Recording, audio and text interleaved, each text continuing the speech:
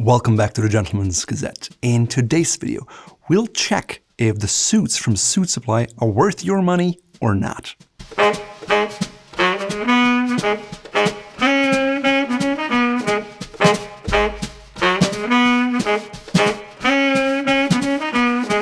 Unlike many other online reviews, this one is 100% not sponsored.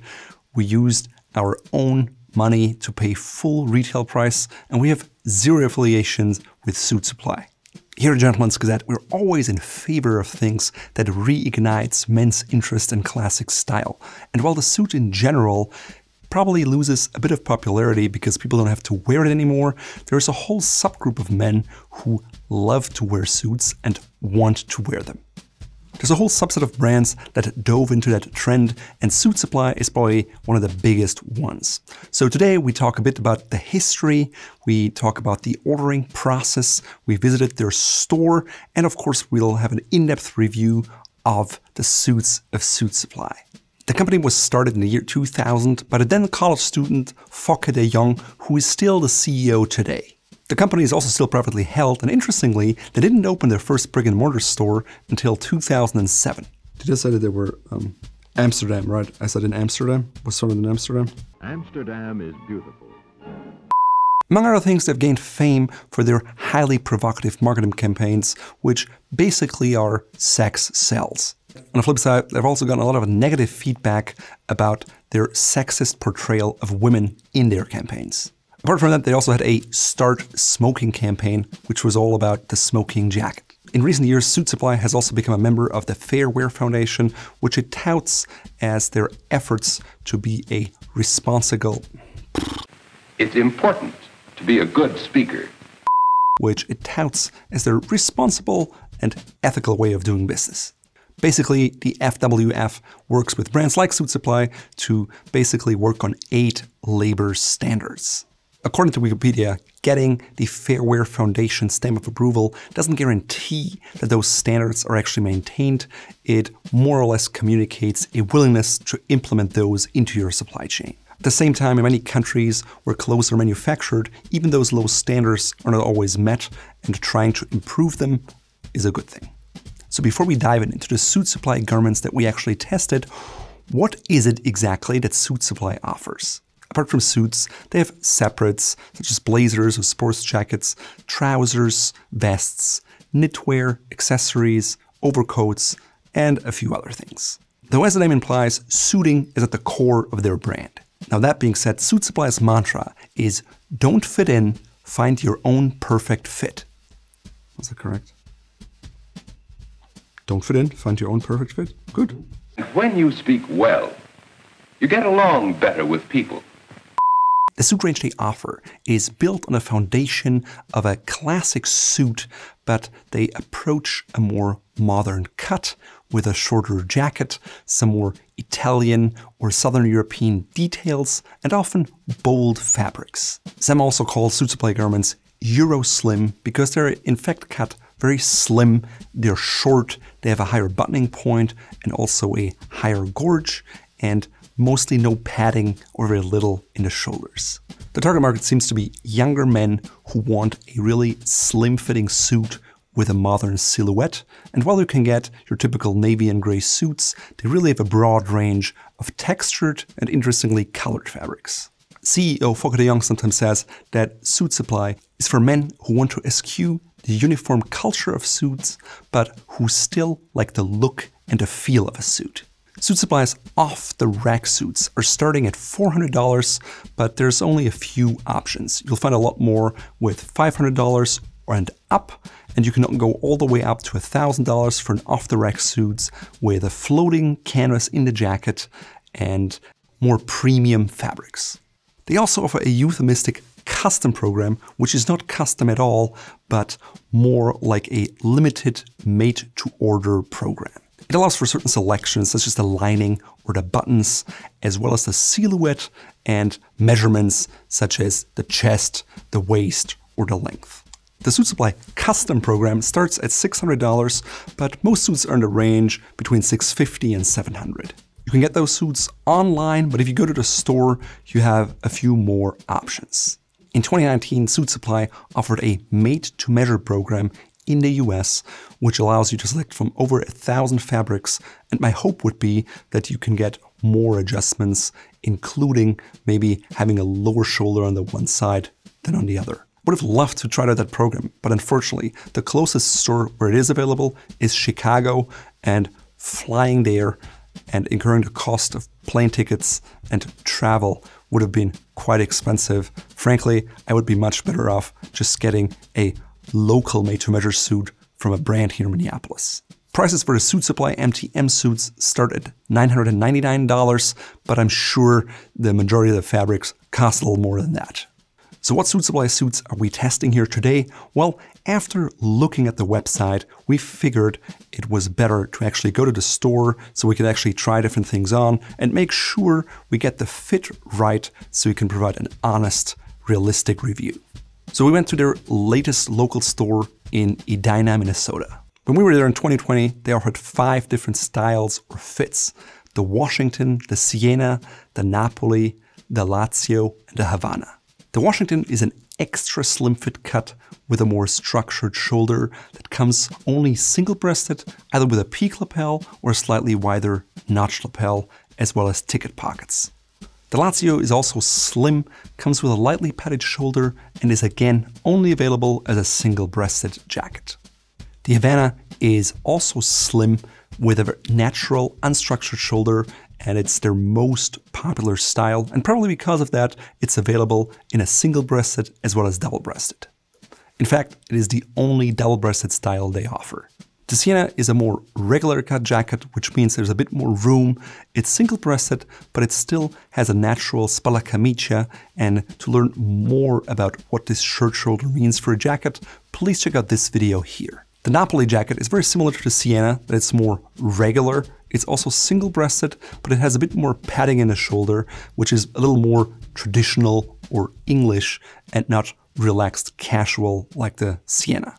That being said, regardless of what style you choose, what do we think of suit supply construction and suit details in general? At the lower standard of the rack entry level, starting at $400, you get a half canvas jacket. None of their jackets are fully glued. Full floating canvas jackets, on the other hand, are available starting at $999 and up.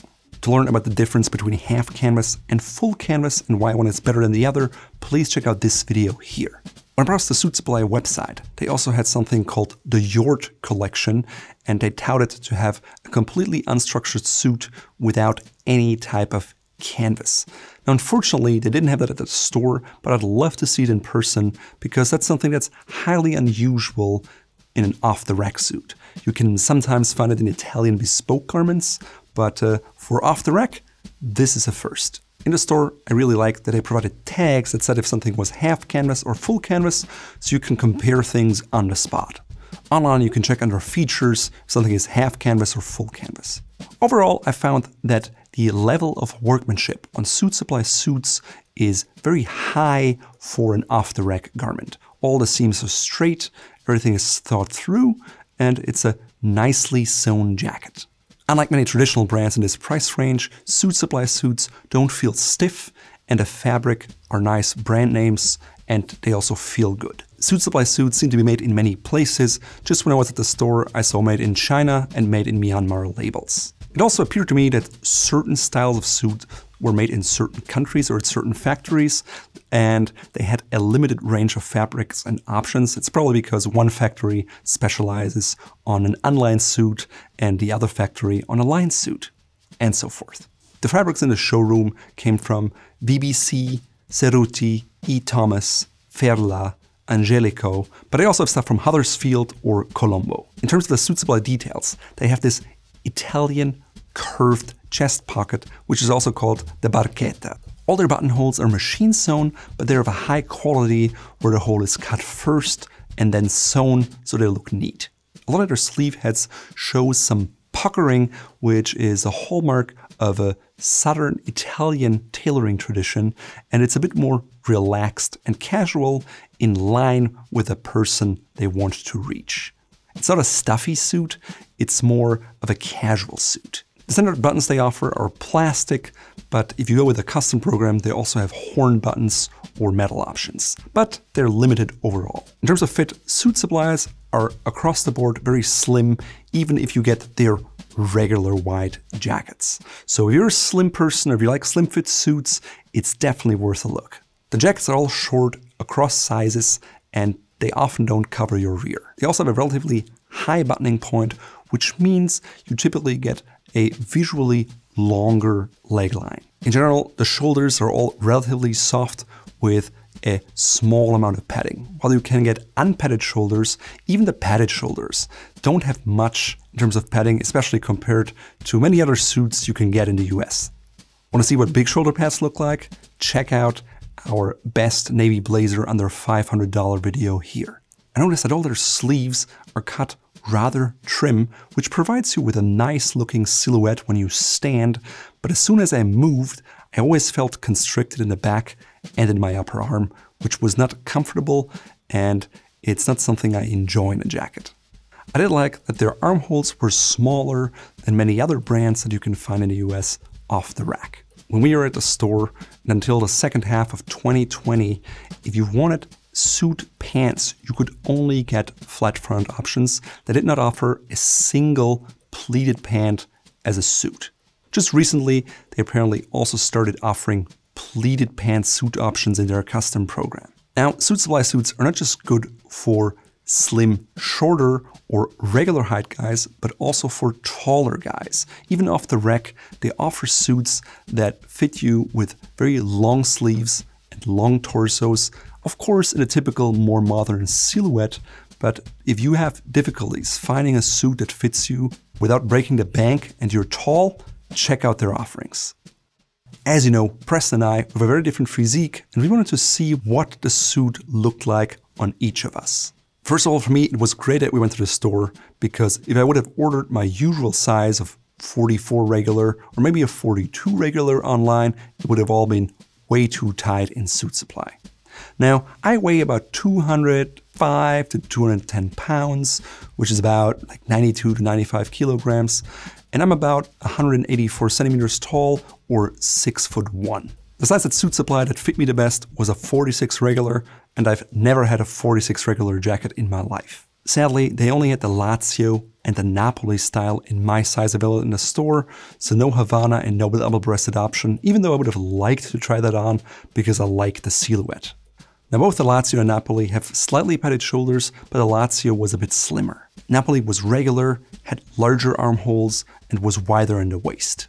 It looked like the Lazio and the 46 regular fit me better than the Napoli, and for an off-the-rack jacket, the fit was okay. It wasn't great, it wasn't terrible. Of course, you cannot compare the fit of a ready-to-wear garment to that of a bespoke suit, because humans are all asymmetrical and off-the-rack garments are symmetrical. Now sometimes I meet people who say, oh, I bought this suit off the rack and it fits perfectly.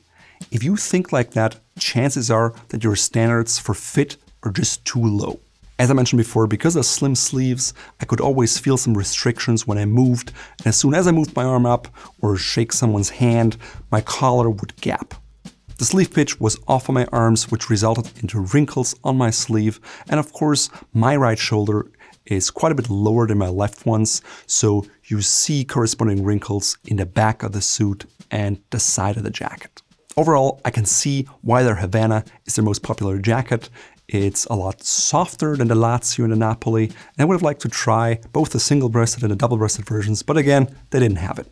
Maybe I would have hoped that they would have offered that they could send some garments in for trial, but I don't know how their whole stocking process works, and it was not offered to me.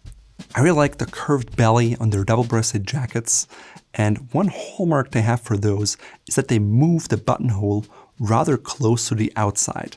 In my mind, it doesn't look that great, and it mimics the Italian brand Sciamat for some reason. I wonder if they got inspired by them. Now obviously the jacket is just one part of the suit, so now let's look at the trousers or pants. If you're a regular of the Gentleman's Gazette, you know I have a big bum and big thighs. And while my waist is about 36 or 37 inches, my thighs are still pretty big. And when I tried on the Suit Supply pants, even a 42 inch waist was super tight in my thighs. And of course, they were all flat front. Initially, I thought, well, they're offering two pleated pant styles, the Brentwood and the Braden, and I could just choose those. But unfortunately, for suits, that wasn't possible. So I thought, okay, if you don't have any off the rack suits with pleated pants, let's try the custom program. But again, I wasn't able to choose a pair of pleated pants in the custom program, which is a very basic request. So even if you're paying upcharge to customize your suit, you can only change a few things here or there within their realm of options, which in my case didn't even include a well-fitting pair of pants, or at least the potential of a well-fitting pair of pants. So I thought, well, maybe if that's not an option, can I just buy a pair of pants that's pleated and a jacket? But again, that seemed impossible. Why? Well, the separate pants are only available in very limited fabric options, which would not have been available for the jackets. So no, Suit Supply was not able to provide me with a suit that I could have actually worn, which just blew my mind. So if you need roomier pants, Suit Supply is definitely not the brand for you. Initially, the sales associate tried to talk me into a flat front pants and touted their fit guarantee, but once we tried things on, we both agreed it wasn't possible for them to make me even a pair of pants. So time to move on with Preston, but I'll have him tell you and share his experience with you. As you can see here, I'm wearing the finished suit that I got from Suit Supply. You'll get a better look at it in a moment, but first I'll walk you through my initial in-store experience. For a bit of context, I'm a little over 5 feet 10 inches tall and weigh about 125 pounds. This translates roughly to 177 centimeters tall and 44 kilograms. Uh, not quite, okay. Where did the fours come from? 56. Yes, many people do want to reduce for better appearance and for better health. Converted into metric, this is about 177 centimeters and 56 kilograms. Obviously, I've got a very different build than Raphael does, and we thought it was important for our viewers to see how Suit Supply could or couldn't fit different physiques. I'm obviously a skinny guy, so unsurprisingly, Suit Supply's thinnest fit option, the Washington, was the one that fit me the best. All of their other models had far too much excess fabric to even be considered. I have roughly a 28 inch waist and typically wear a size 38 regular jacket. This means that I have a 10 inch drop, which is far more dramatic than average for most men. While the suit supply jacket size that would fit me the best was indeed a 38 regular, I couldn't have gone with the accompanying suit pants, as Suit Supply, like most other retailers, offers only a 6 inch drop. Therefore, I had to go with the custom program as well. The base model Brescia trousers in a 28 regular fit were pretty good on me. They had to be taken in slightly, but they did fit better than the next step down, which would have been a 26 regular. In particular, the 26s would have looked super slim on my legs, even for how thin they are, which wouldn't have been proportional to how the jacket was fitting. The sleeve pitch of the jacket was also not perfect, but I've accepted this in every jacket that I wear because my arms have a bit of a permanent bend at the elbow due to a physical disability I've had since birth. More significant, though, was the fact that there was a sizable amount of collar gap when I moved my arms even slightly. Now, here's a bit more information about the process in general. If you decide to go with the custom program, you can buy a suit both online and in store. While the options for fabrics, linings, and buttons will be the same no matter whether you order online or in store, if you do go to a store to order and get fitted, they can make alterations to garments at the factory level, which is nice. This means that once you've tried on a base model in the store, they can start your order with things like alterations to the sleeve length, the pocket position, the buttoning point, and so on from the beginning. I generally run quite hot, and indeed have a condition called hyperhidrosis marked by excessive perspiration. So, when it came time for me to pick a fabric for my suit, we liked an unlined jacket option that we saw. However, as it turned out, that style was only available in what Suit Supply calls the Traveler range, which features fabrics from Cerruti in high twisted yarns that are very wrinkle resistant. There are 13 fabrics available in the Traveler range, but of course, it would have been nice if I could even have picked one. However, if I wanted this material in an unlined construction, I would have to have gotten a jacket in the Havana model, which of course wouldn't have worked for me. Going again with the Washington model, I just had to move on and find a different fabric with a lining. As Raphael alluded to earlier, the custom program really isn't quite so custom after all. Only certain fabrics can correspond to certain styles, and when looking at their website in store, they offer an iPad, but this is somewhat cumbersome to use. It was difficult for us to figure out what was and wasn't possible between styles, and paired with slow load times, it made for an unenjoyable experience. Even so, once I had selected my fabric and my fit style, I had to pick a lining next. They've got a limited selection of solid linings as well as digitally printed ones featuring patterns like paisleys or micro patterns reminiscent of what you might see on a tie. Overall, we thought that the selection was somewhat limited, with fewer options than you would find at a high quality custom tailoring shop. I ultimately went with a dark green micro patterned lining as I liked how it looked against the navy of the suit. As far as detailing on the trousers is concerned, I chose to go with side adjusters rather than belt loops. Side adjust. It's important to be a good speaker. Side adjuster trousers come with buttons for suspenders in them. If I had gone with belt loops, they could have added buttons for suspenders, but typically you want a pair of trousers to either accommodate a belt or suspenders and not both. I could also select whether or not I wanted my pants to have a cuff or turn up and how big that cuff could be. The trousers also naturally come with enough of a fabric reserve that if I were to change my mind about how large or small I wanted a cuff to be, this would be an option as well. Ultimately, I decided to go with the more formal silhouette that the jacket was establishing with its large peaked lapels, that I would go with a cleaner look featuring no cuffs. Next, it was time to select buttons, but other than the different styles, the website provided little to no information about the composition and materials of the buttons I could choose for a custom suit. The buttons on the more expensive off the rack offerings from Suit Supply are advertised as being made of horn, so we would assume that some of the similar ranges for this program would also be horn.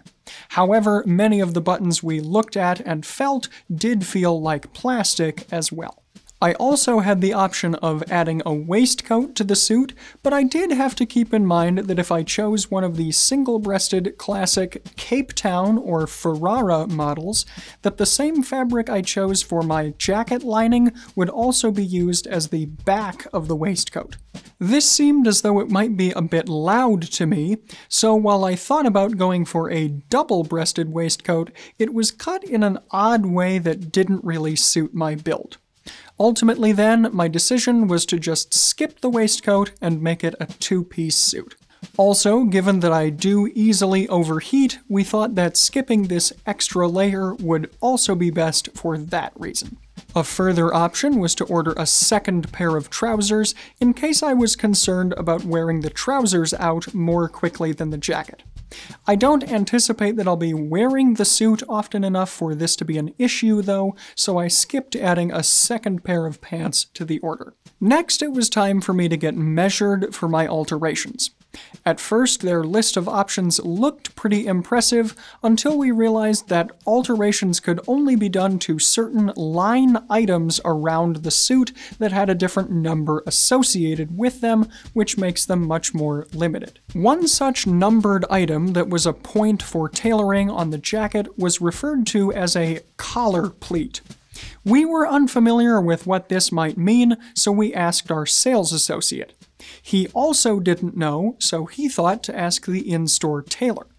However, she didn't happen to know either. So, in other words, two menswear historians, a sales associate, and a tailor were all stumped by this term, which was strange to say the least. Most of us know enough. The only trouble is, half of what we know ain't so. As to what could be altered, the right and left sleeve can be adjusted individually, and this makes sense because most people do have discrepancies in arm length and shoulder drop. The jacket's waist can be altered, but the shoulder height can't. We would imagine that this might be in the system for their full made to measure program, but again, we haven't had that experience thus far. Apart from that, the length, legs, and waist of the trousers can all be adjusted as well. Overall, though, nothing could really be done about that extreme collar gapping when I moved. All told, the suit cost $669 excluding tax. It was delivered to us about a month after we first ordered, at which point I tried it on again to see if any further alterations would be necessary at this point. As it was delivered to us, the suit definitely fit better at this stage than it had initially, which we certainly hoped would be the case. The trousers were more or less perfect at this point, but this again was to be expected, as they were already pretty good and just needed minor alterations in the waist and leg length. While they're certainly a bit shorter, skinnier, and overall more modern than I'm used to in my trousers, we decided that they couldn't be any longer. If they were, the narrowness of the leg opening would probably cause unsightly bunching around my ankles where the leg meets my shoe, which wouldn't be a good look. So, this shorter length is where they needed to be. And while the center crease falls a bit differently between my two legs, this is more due to the fact that my knees aren't quite symmetrical, also due to that same physical disability. I decided this was something I wasn't passionate about changing further. So, while the trousers fit well at this stage, the jacket still needed significant work as you're seeing here. First and foremost, it was still much too large in the midsection with a good deal of excess fabric. The collar gapping was also still quite significant, and the sleeve pitch was still off, though on this second point, this isn't a big deal to me, as I've already stated. And now, rather than being much too short as they originally were in store, the sleeves were actually slightly too long for my liking. So the jacket needed another round of alterations. While we had to wait several months before returning to the store to do this due to the COVID 19 pandemic, once we actually got the process underway, the sales associate who took over my order from this point forward was very pleasant and easy to work with. Not that the others weren't, of course. We took in the midsection of the jacket even further, zeroed in on the fit of the different sleeve lengths, and made a couple of minor alterations that the sales associate said would help to alleviate the collar gap more, though as Raphael mentioned, this probably wouldn't be totally possible.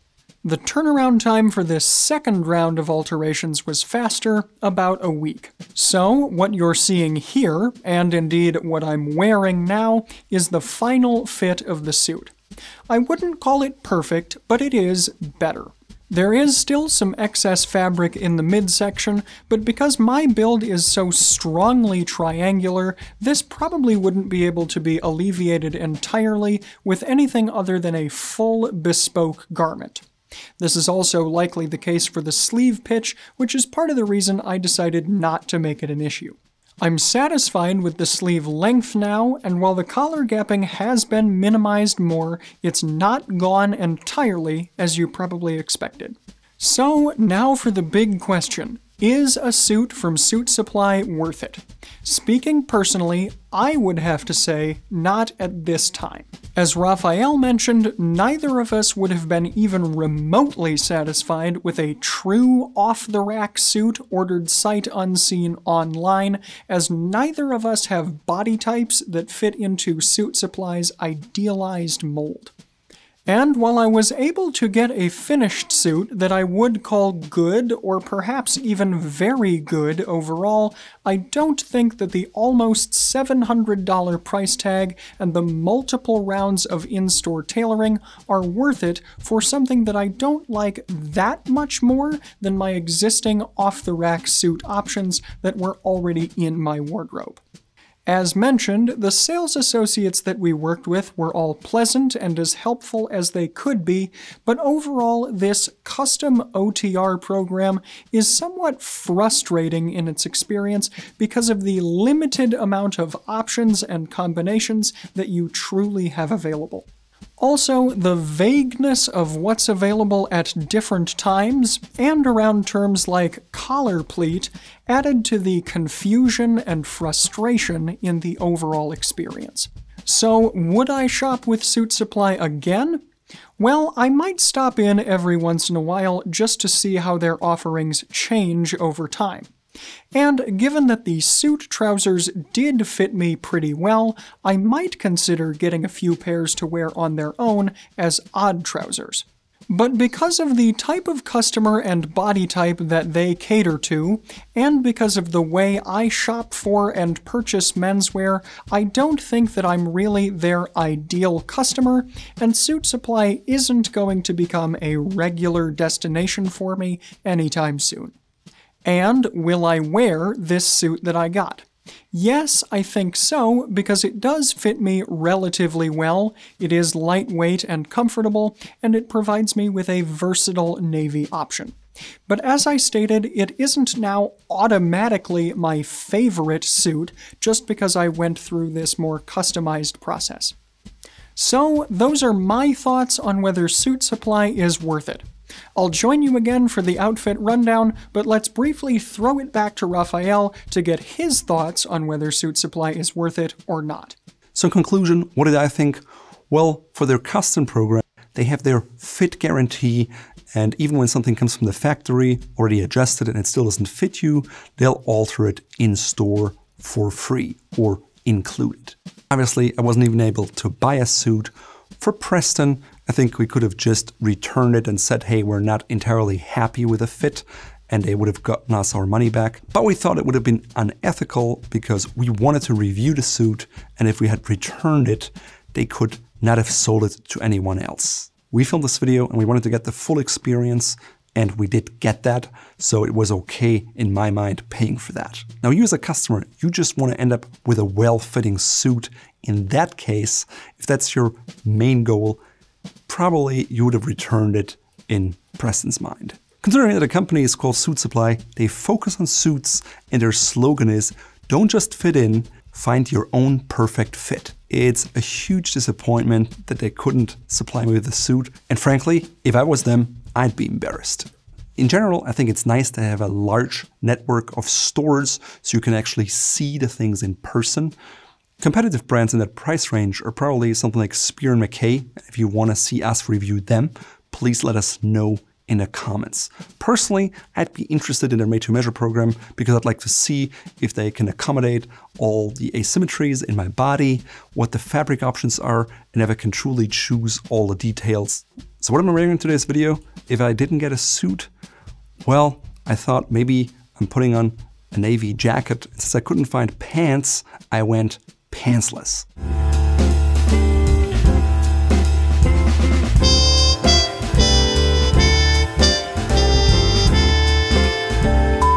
Now, if it wasn't for the outfit rundown, this is how I would film every single one of the videos here. Our designers have developed new fashions for casual living. Back for the outfit rundown again, because of course I am the one who ended up with a Suitsupply suit. As mentioned before, it's navy in color and in their Washington fit scheme, meaning that it's got relatively wide peaked lapels, but does have flapped pockets as well as a ticket pocket and side vents. The fabric of the suit is from Vitale Barberis Canonico, and it does feel nice to the hand and relatively lightweight. As I mentioned, the lining I chose for the inside of the jacket is in green and features a micro pattern that I liked. I chose to get the trousers with side adjusters, as well as potential buttons for suspenders, and no cuffs. They are slimmer than I'm used to, but this again is Suitsupply's style. And in the spirit of that style, I've kept the rest of my outfit relatively simple and clean. The pocket square I'm wearing is in white linen and it's got a contrasting green edge to harmonize somewhat with the madder silk tie in green from Fort Belvedere.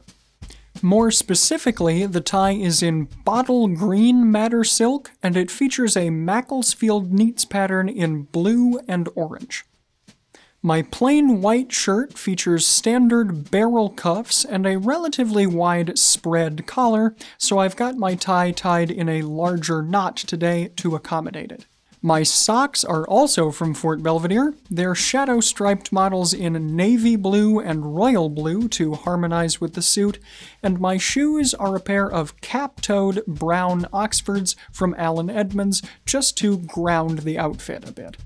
So, what do you think of the finished suit? Be sure to let us know in the comments below. And of course, you can find both the socks and the tie I'm wearing, as well as a wide array of other menswear accessories in the Fort Belvedere shop here.